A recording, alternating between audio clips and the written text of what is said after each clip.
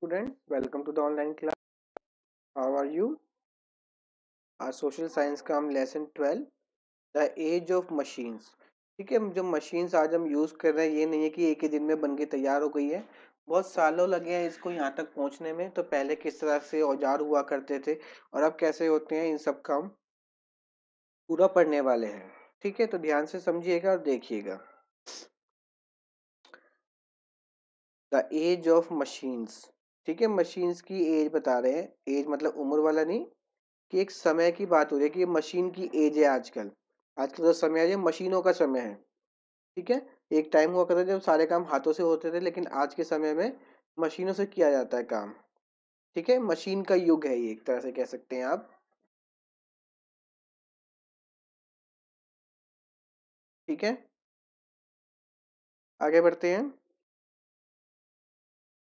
Stones were the main tools and weapons of early human being जो पहले जमाने के लोग हुआ करते थे, उनका जो मेन मुख्य हथियार और औज़ार क्या होता था?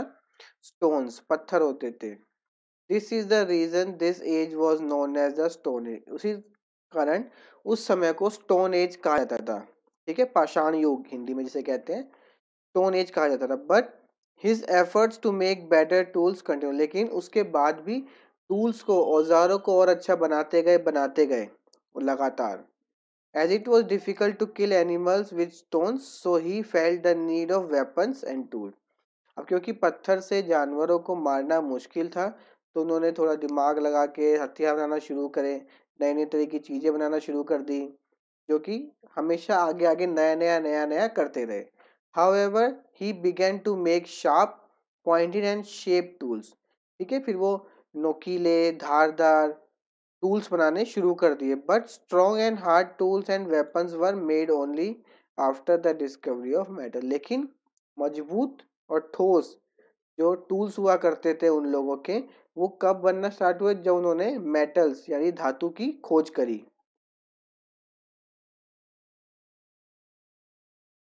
देख सकते हैं, पहले के पत्थर से बनाया करते थे ये लोग, पत्थर, लकड़ी को लगा के देख रहे हैं? Welcome Ayush welcome to the class from stones to metal अब देखिए पत्थरों से मेटल से मेटल की तरफ़ कैसे आए? Just as man discovered copper he also came to know about two more metal जैसे ही इन मनुष्य ने कॉपर को खोजा, उसने दो और को खोजा। This metal were gold and silver gold और सिल्वर भी उसे मिल गए।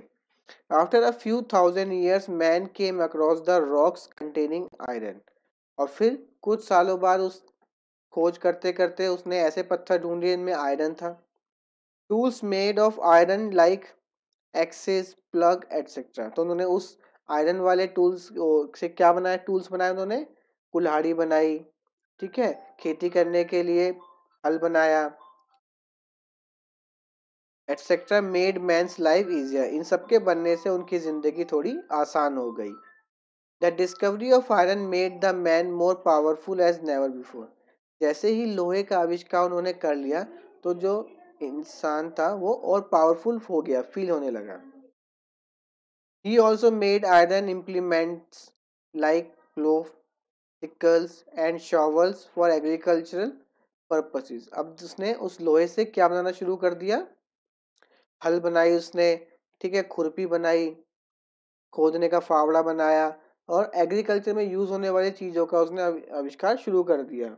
Now the man gradually became skilled professional like carpenter blacksmith farmer potter and mason अब जो इंसान था वो प्रोफेशनल हो गया। ठीक है, वो हुनर आ गया उसके अंदर कारपेंट्री का, लोहे का हुनर आ गया उसमें फार्मर पॉटर पॉटर कौन होता है? जो बर्तन बनाता है। मैसन कौन होता है? मिस्त्री।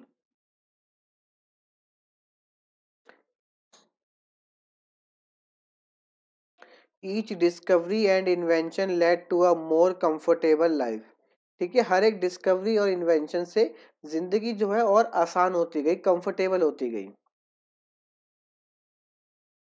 But man was never satisfied with what he had achieve and that led him to more and more discovery लेकिन इंसान कभी संतुष्ट नहीं हुआ जो उसके पास हुआ करता था। वो नए नए की तलाश में हमेशा लगा रहता था और नई नई चीज़ें खोजता रहता था, बनाता रहता था। Welcome Dimple welcome to the class. फिर इसके बाद आता है स्टीम इंजन, ठीक है? भाप से चलने वाले engine. Man continue to make his life more comfortable. अब जो मनुष्य था, उसने अपनी ज़िंदगी को और आरामदायक बनाने के लिए हमेशा प्रयत्न करता रहा।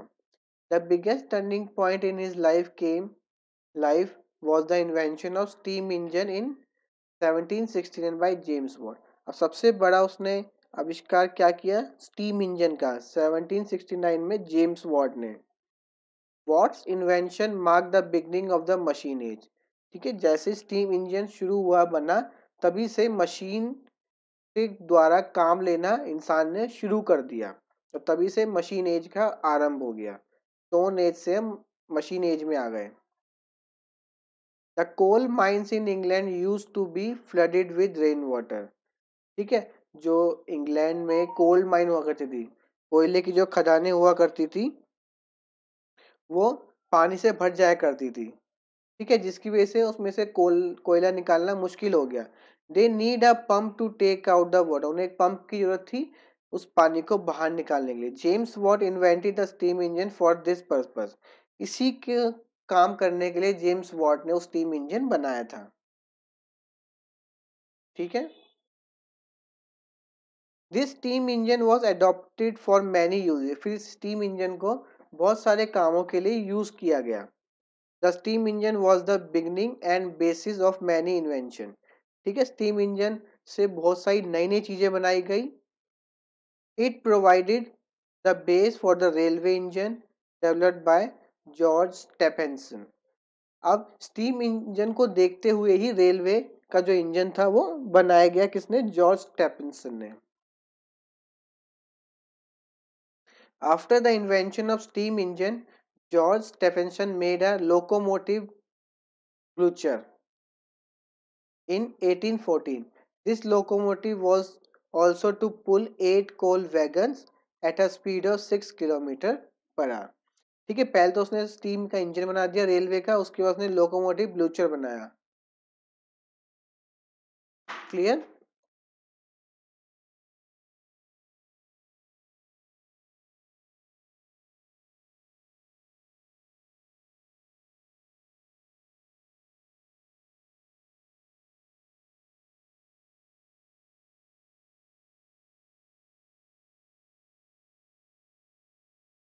ठीक है ब्लूचर क्या एक तरह से रेलगाड़ी समझ सकते हैं आप, जिसमें पैसे थोड़े से ठेले लगे होते हैं उसको खींचने के लिए। ठीक है, उसमें आठ डब्बे थे, आठ वैगन्स थे उसको खींचने के लिए। ठीक है? George Stephenson, a British engineer, build the first ने पहला रेलवे इंजन भी बनाया था। The truly successful railway engine build by Stephenson was the rocket in 1829 which could pull a coach with 30 people at a speed of about 50 kilometre per hour सबसे पहला जो steam engine railway का बनाया उन्होंने उसका क्या नाम था? रॉकेट इस ईयर में बनाया 1829 में। और वो 30 लोगों से भरा एक कोच का डब्बे को 50 किलोमीटर की स्पीड से खींच सकता था। ठीक है? आगे बढ़ते हैं। देखिए, ये रेलवे इंजन है। It acted later as a model for steam locomotives. ठीक है, फिर उसी का यूज़ करके स्टीम के लोकोमोटिव मतलब चलने वाली गाड़ियाँ बनाई गई। After some time machines could run with the help of petrol and diesel. फिर मशीन्स पेट्रोल और डीजल चलने लगी। This led to the invention of motor car, जिसकी वजह से मोटर कार आ गई, बसेस आ गई, ट्रक आ गई। ठीक है, और रेलवे इंजन भी पेट्रोल, डीजल से चलाए जाने लगे। देख सकते हैं आप, पेट्रोल इंजन से, पेट्रोल डीजल से गाड़ियाँ चलती हैं।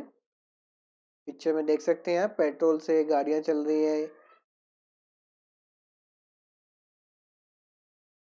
मास प्रोडक्शन मतलब बहुत बड़ी संख्या में कुछ बनाना। Steam engine provided a big force to run different kind of big and small machine अब स्टीम इंजन से इतना फोर्स हो गया कि बड़ी छोटी मशीनें चलाई जा सकती थी। The entire method of producing things began to change फिर सामान को बनाने का पूरा पूरा तरीका ही चेंज होता गया। पहले हाथ से बनाया करते थे, मशीन्स का यूज़ करना शुरू कर दिया। Earlier articles were made by the craftsman with their hands. पहले जो कारीगर होते थे, वो अपने हाथों से काम करके सामान बनाया करते थे। But all this change when the, when they had the machines at its disposal.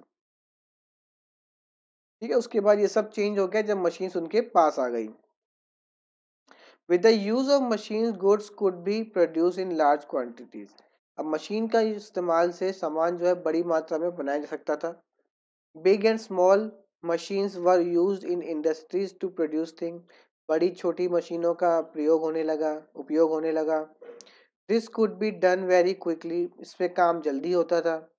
On assembling the parts together from the different big and small machines the final product became ready this is called mass production ठीक है machine का use करके पहले छोटी चीज़ यहाँ बनाई, दो छोटी चीज़ इधर बनाई। फिर उन दोनों का मशीन से यूज़ करके दोनों को एक करके जोड़ दिया गया। ठीक है, ऐसी दोबारा वहाँ से एक चीज़ यहाँ से उठाई, एक चीज़ यहाँ से उठाई, दोनों को जोड़ के एक बना दिया गया। इस तरह से मास प्रोडक्शन जल्दी जल्दी काम होने लगा और संख्या में चीज़ें बनने लगी। पिक्चर में आप देख सकते हैं मोटर कार असेंबलिंग ये टायर कहीं से आ रहा है गाड़ी की बॉडी कहीं से आ रही है, नीचे वाली मशीन, उसका इंजन लगा रही है, ऊपर से बॉडी आ रही है, ठीक है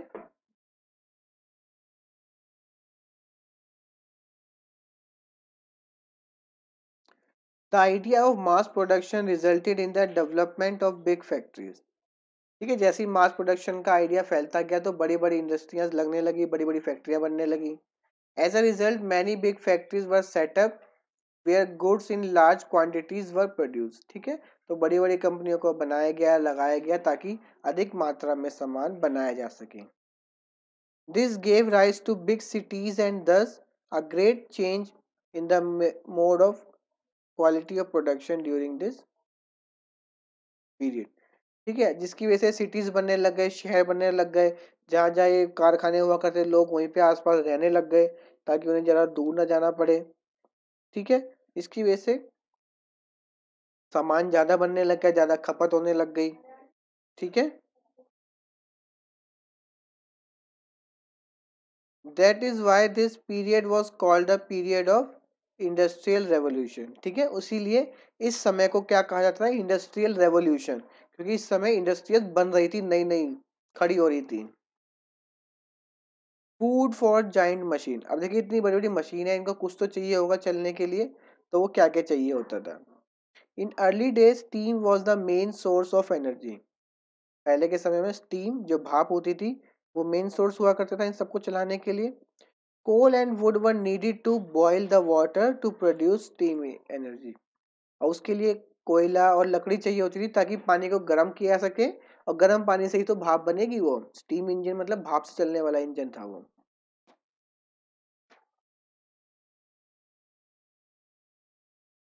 So wood and coal were the main source of energy to run the big machine ठीक है तो लकड़ी और कोयला सबसे मुख्य सोर्स हुआ करता है इन सब मशीन्स को चलाने का।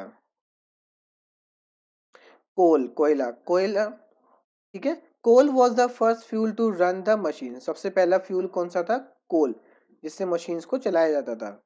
It was found buried below the earth surface ये कहाँ मिला था लोगों को? इंसान, मनुष्य को, धरती के अंदर। Developed from the remains of plants that buried four hundred millions to one million years ago ठीक है, बनता कैसे था ये? ये जो 400 लाख साल पहले जो पेड़ पौधे धरती के अंदर दब गए होंगे, उनसे बनता था ये। ठीक है?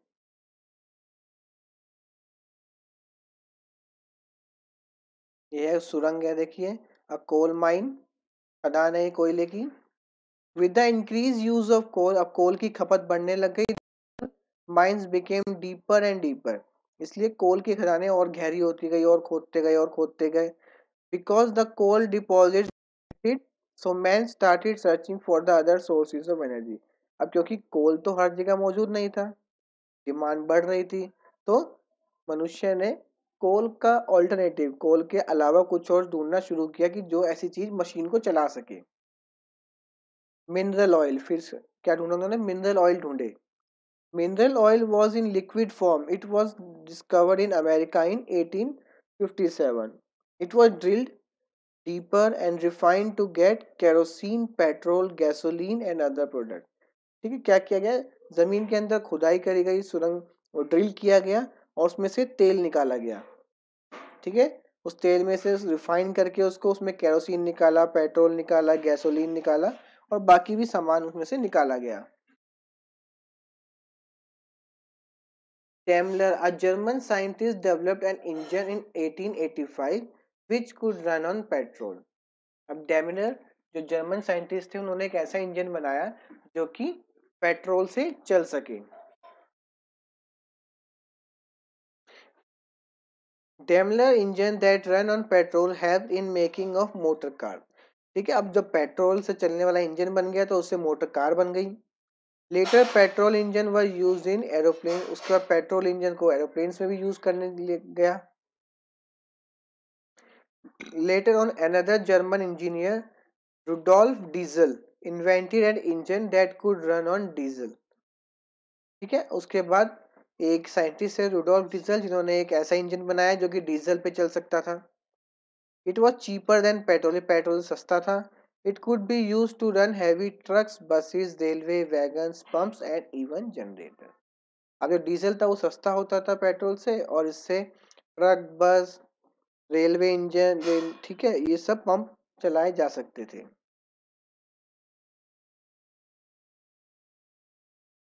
The deposit of mineral oils were also limited अब जो तेल था वो भी लिमिटेड था, वो भी ऐसा नहीं था कि सब जगह फैला हुआ तेल कितना मर्ज़ी निकालो, वो भी लिमिटेड है।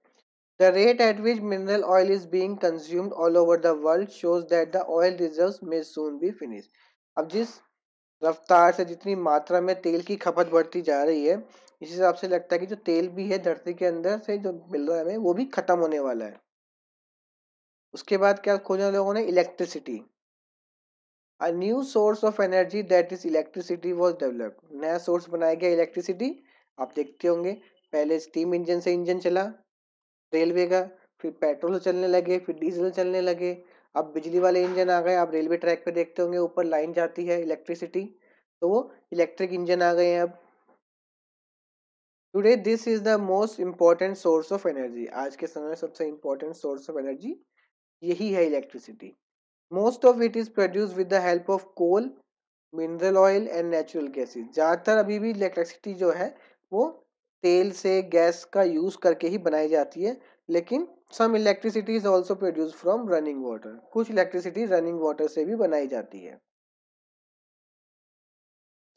This is called hydel or hydel power or hydro electricity ठीक है, जो बिजली पानी से बनाई जाती है, उसको हाइडल पावर कहते हैं या हाइड्रो इलेक्ट्रिसिटी कहते हैं। Electricity also comes from nuclear power plant और न्यूक्लियर पावर प्लांट से भी इलेक्ट्रिसिटी बनाई जा सकती है The discovery of electricity is an interesting story. A man in the Netherlands developed a toy called Leyden jar. ठीक है नीदरलैंड में एक आदमी था, जिसने एक टॉय बनाया, इसका नाम था Leyden jar that had two wires उसमें दो तारे थी one in a glass and other outside it कि एक उसके ग्लास के अंदर थी और एक उसके बाहर थी।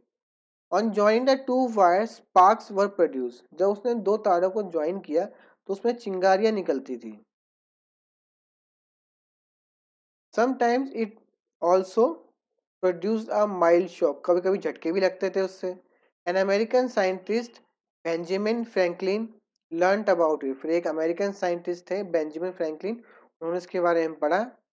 He thought that the lightning in the sky and the spark produced by the leaden jar were similar. वो क्या लगा कि जो आसमान में बिजली कड़कती है और जो इस लेडन जार जो टॉय है, इसमें से बिजली निकलती है करंट जैसी जो स्पार्क निकलती है, वो सेम है। He tried to prove it through an experiment उसने इसे एक्सपेरिमेंट के थ्रू साबित करने की कोशिश करी।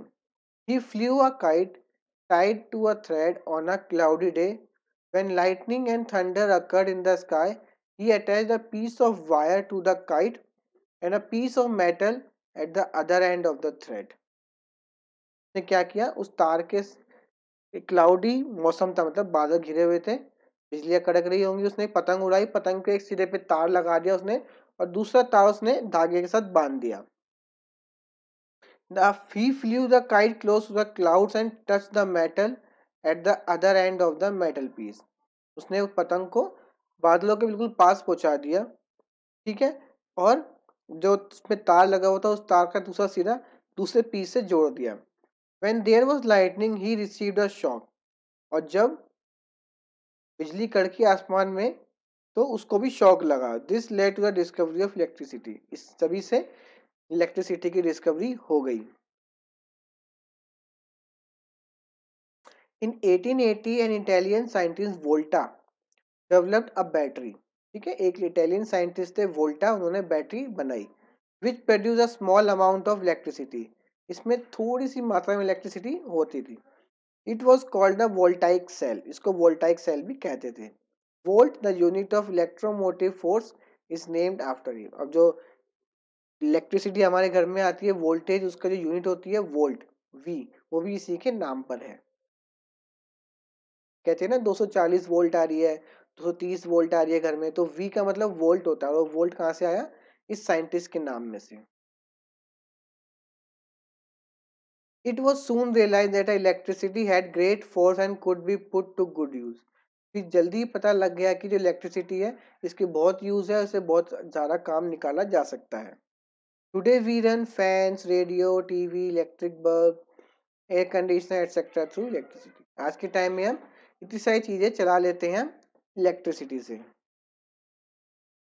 Later on generator were develop to produce electricity उसके बाद जनरेटर आ गए इलेक्ट्रिसिटी प्रोड्यूस करने के लिए। दीज जनरेटर्स नीड कोल्स और मिनरल ऑयल और running water to run and produce electricity इनको इलेक्ट्रिसिटी बनाने के लिए या तो तेल की ज़रूरत पड़ती थी या कोयला या फिर इनको पानी चाहिए होता था। चलता हुआ पानी, ठीक है? तभी है क्योंकि जब तक इनकी शाफ्ट नहीं घूमेगी इलेक्ट्रिसिटी नहीं बनाएँगे ये। Other sources of energy. बाकी सोर्सेज देखते हैं एनर्जी के क्या क्या हैं। Scientist are trying to find other sources of energy that will last for ever and will not damage our environment scientist क्या कर रहे हैं? ऐसी एनर्जी ढूंढ रहे हैं जो कि हमेशा के लिए रहे और उससे एनवायरमेंट पे भी कोई फ़र्क ना पड़े। अब देखिए फ्यूल, पेट्रोल है तो एनर्जी लेकिन उससे एनवायरमेंट में कितना पोल्यूशन होता है। तो वो चाहते हैं कि ऐसी एनर्जी मिले कि जो एनर्जी भी दे हमको और उससे कोई पर्यावरण को नुकसान भी ना हो। These are called renewable sources of energy in energies को रिन्यूएबल सोर्स ऑफ़ एनर्जी कहते हैं, जो कि दोबारा नहीं हो सकती हैं। So new sources of energy will have to be found out तो इसलिए नई एनर्जी की खोज शुरू हो गई। Man has found out some inexhaustible sources of energy ठीक है? तो मनुष्य ने inexhaustible sources of energy ढूंढ लिए। मतलब ऐसे सोर्सेज जो कभी खत्म ही नहीं होंगे। जैसे तेल है, तेल खत्म हो गया तो खत्म गाड़ियाँ पर चलना। तो ऐसी चीज़ ढूंढो जो कभी खत्म ही ना हो, जैसे सूरज की रोशनी है, कभी खत्म ही नहीं होगी। ठीक है? They are wind water and sun अब वो एनर्जी कौन कौन से, कहाँ से मिल सकती है? हवा, पानी और सूरज से। These energy source will not pollute our environment और इनसे कोई प्रदूषण भी नहीं होगा एनवायरमेंट खराब भी नहीं होगा। ठीक है? आगे बढ़ते हैं। Nuclear power and gobar gas from cow dung etcetera are also use as the sources of energy some other non conventional sources of energy are ठीक है न्यूक्लियर पावर ठीक है, और गोबर गैस प्लांट भी यूज़ करते हैं। इसमें गोबर में से गैस निकलती है, उसका यूज़ करके गाँव में लोग अपना चूल्हा चलाते हैं। इससे एनवायरनमेंट को नुकसान नहीं होता है। बाकी सोर्सेज देखिए क्या क्या है। Hydro energy is use by for grinding grains transporting timber from one place to another and generating electricity ठीक है, पानी का यूज़ किया जाता है इन सब एनर्जी को प्रोड्यूस करने के लिए। India is Bhakra Nangal Hirakud Damodar power projects etcetera for this purpose ठीक है, पानी से बिजली बनाने के लिए इंडिया ने भी बहुत सारे प्रोजेक्ट्स लगे हुए हैं। जैसे कि बाकरा नंगल में लगा हीराकुंड में दामोदर में इन सब जगहों पे प्लांट लगे हुए हैं जो कि पानी से एनर्जी बना रहे हैं। क्लियर आगे बढ़ते हैं।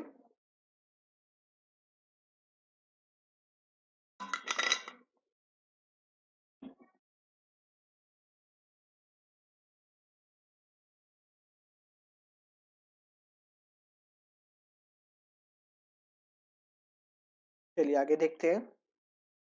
देखिए, डैम में बनती है एनर्जी, ठीक है, बिजली। नेक्स्ट है solar energy almost all energy flowing on the earth comes from the sun अब अर्थ पे जितनी भी एनर्जी है, वो सारी सन से ही आती है। Solar energy is also use in solar heating devices like solar heater solar cooker and solar cells ठीक है? अब सोलर एनर्जी भी यूज़ की जाती है किस किसमें? सोलर हीटिंग में डिवाइसेस जो छतों के ऊपर आप देखते होंगे हीटर्स लगे होते हैं लोगों के। सोलर कुकर में यूज़ होती है और सोलर सेल भी लगे होते हैं। ये देखिए solar cells, solar energy use करने के लिए। विंड एनर्जी यूज़ करते हैं। Moving air is called wind. जब हवा चलती है, उसे विंड कहते हैं। This energy use in sailing boat. इसका यूज़ करके जो पर्दे वाली बोट्स होती थी, पहले उनको चलाया जाता था। Working wind mills and even in generating electricity. इससे पवन चक्की चलाई जाती है। ठीक है? और इलेक्ट्रिसिटी भी बनाई जाती है। But the use of wind energy is limited to the areas having high velocity winds लेकिन जो ये विंड एनर्जी है, ये वहीं पर ही यूज़ की जा सकती है, जिन जगहों पे जो हवाएँ हैं, वो थोड़ी तेज चलती है। ठीक है? Netherland is successfully using the wind energy अब नीदरलैंड जो कंट्री है, यहाँ पे हवाएँ अच्छी तेज चलती हैं तो यहाँ पे इसका यूज़ अच्छे से हो पाता है। In Tamil Nadu also we have several wind mills Tamil Nadu में भी बहुत सारी विंड मिल्स लगी हुई हैं। Bio energy the energy obtain by the decomposition of organic matter like animal dung waste fruit vegetables human excreta etcetera is called bio energy अब देखिए bio energy कौन सी होती है? ऐसी एनर्जी जो कि ऑर्गेनिक मैटर जो होता है। जो जीवित वस्तुएँ हैं उनका जो बचा कुचा होता है, ठीक है? उनसे जो एनर्जी निकलती है, जैसे कि एनिमल डंग जो एनिमल डंग क्या हो गया, जानवरों के जो पॉटी होती है, उससे वेस्ट हो गया, ठीक है? फ्रूट्स का वेस्ट वेजिटेबल्स का वेस्ट ह्यूमन का जो वेस्ट निकलता है, उससे एनर्जी बनाई जाती है, क्योंकि उसमें भी एनर्जी होती है। Biogas is excellent fuel for cooking lighting etcetera in rural area it is being increasingly used biogas बहुत बढ़िया सोर्स है। फ्यूल का, इससे हम गैस का चूल्हा जला सकते हैं, गाँव में यूज़ यूज़ करते हैं, घरों की बिजली जलाते हैं इससे, ठीक है? और ये बहुत ज़्यादा अधिक मात्रा में यूज़ हो रहा है। ठीक है, चलिए एक्सरसाइज देखते हैं इस लेसन की। Steam engine was invented by James Watt locomotive लूशर was invented by George Stephenson tool of the early human beings stone पहले के जब लोगों के क्या टूल्स हुआ करते थे? स्टोन पेट्रोल इंजन वो डिस्कवर्ड बाय पेट्रोल इंजन किसने बनाया था? टेमलर ने। ठीक है? Energy we get from animal dung animal dung से कौन सी एनर्जी मिलती है? उसे बायो एनर्जी कहते हैं। गोबर हो गया डंग का मतलब ठीक है? जानवरों का गोबर। Battery was developed by battery किसने बनाई थी? वोल्टा ने। Electricity was invented by electricity किसने बनाई थी? बेंजामिन फ्रैंकलिन ठीक है liquid petrol is used as mineral oil copper metal was known to the early man हाँ इनको पता था कॉपर मेटल के बारे में। Big machine help the people to produce things on large scale yes बड़ी बड़ी मशीन से ज़्यादा सामान बनने लगा। Petroleum can be use again and again after one time use false. Petrol एक बार यूज़ हो गया तो खत्म। टाटा बाय बाय हो गया उसका। Rudolf Diesel was the inventor of electricity false. Benjamin Franklin ने बनाई थी इलेक्ट्रिसिटी रुडोल्फ डीजल ने डीजल इंजन बनाया था। Hydro electric power station use energy of water yes जो hydro electricity electric power station होते हैं वो पानी से एनर्जी बनाते हैं। James Watt invented steam engine in 1869 चलिए कंफर्म कर लेते हैं जेम्स वॉट का। नहीं 1769 में बना था वो। फॉल्स हो गया ये। Wind water and the sun will be sources of energy in future yes जो हवा, पानी और सूरज ही होगा ट्रू होगा, वही फ्यूचर में एनर्जी देंगे अब। ठीक है? क्वेश्चन आपको सेंड कर दिए जाएँगे। A new source of energy CNG is being used in India. Do you know about it? Find out why it is used. ठीक है CNG भी यूज़ होती है इंडिया में। पता करिए CNG से क्या पोल्यूशन होता है, नहीं होता है। ठीक है? Are you using electricity collect the picture of the machine that are using used at home क्या आप भी इलेक्ट्रिसिटी यूज़ करते हैं? बिल्कुल करते हैं। उसे चलने वाली मशीन की पिक्चर अपनी नोटबुक में पेस्ट करिएगा। क्वेश्चन आंसर इस लेसन के आपको सेंड कर दिए जाएँगे। ठीक है लेसन ये हमारा कंप्लीट हो गया इसको पढ़िएगा रिवाइज करिएगा ध्यान से। एक एक लाइन का मीनिंग मैंने आपको बताया है अच्छे से। ठीक है, इसको पढ़ लीजिएगा, हम मिलेंगे नेक्स्ट क्लास में okay do take very good care of yourself thank you